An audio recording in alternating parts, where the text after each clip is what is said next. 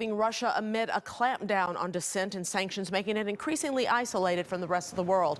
One of the few ways to do so is via train to Finland.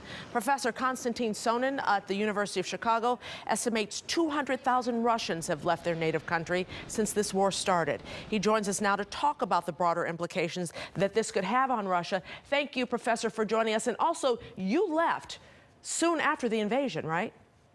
Hello, I, I, was spending my sabbatical year at the University of Chicago. I, I, was spending it in Moscow and decided to leave 10 days after the invasion started. How difficult was that for you to leave, and why did you decide to leave? Okay, it, it, it was it was not a big problem uh, for me to leave, and actually, none, no one is stopped from leaving Russia as of now. Um, and the reason was that in Russia, I'm, I was I'm a sort of public intellectual, so I was writing newspaper columns and going to radio and independent TV shows. And by the time when I decided to leave, everything was closed. Mm. Literally, all these media were closed. Facebook was closed. Everything was closed. Radio and TV channel, all the independent channels were closed.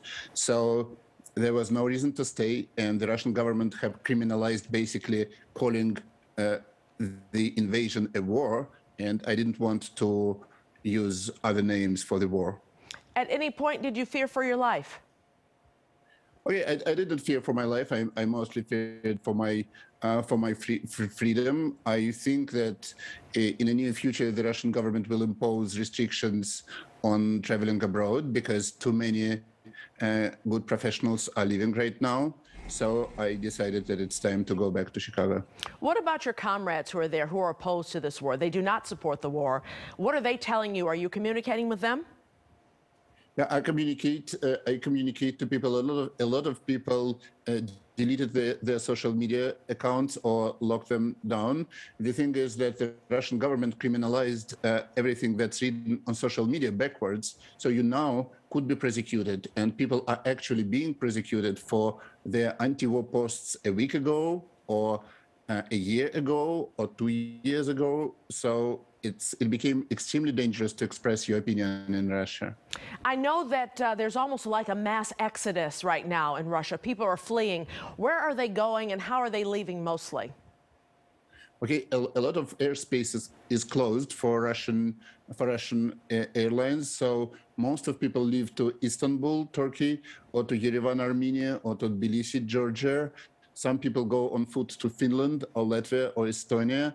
That's basically where people, that's like the first step. And then they're looking for new jobs, basically new lives, because mm. the, their previous life is totally ruined. How difficult is it for those who cannot leave, for those who are staying, uh, especially with the sanctions being put on the Russians? You know, they can't use credit cards, they can't do a lot of things, and they're being told other things, like with the rally, uh, told it was a concert, and they all go there. Right. I, I mean, pe people in Russia, they're now used to live under like a constant information uh, bombardment. Basically, now all the media, all TV channels, this is only, uh, it's not only, uh, it's not just propaganda. It's like the daily, everything that you uh, get is that Ukrainians are murderers, they're Nazis, they're, they're doing atrocities, and the Russian troop, Russian troops just saving peaceful people, which is like the opposite of the truth. So it's difficult. It's difficult just to live there. What does this war mean to the future of Russia?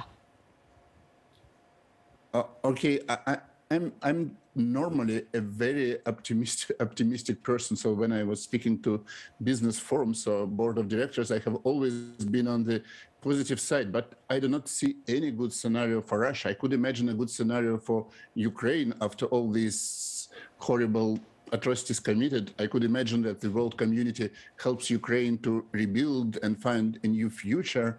But for Russia, it's I, for the first time in my life, I fear that Russia as a country could cease to exist as a result of this. Wow. Do you have family there, Professor? Uh, no. Okay. my family in Chicago. All right. I, uh, our, our, you know, thoughts go out to you and for all the people who do not support the war in Russia. Thank you so much for speaking with us today. Be safe, be well. Thank you.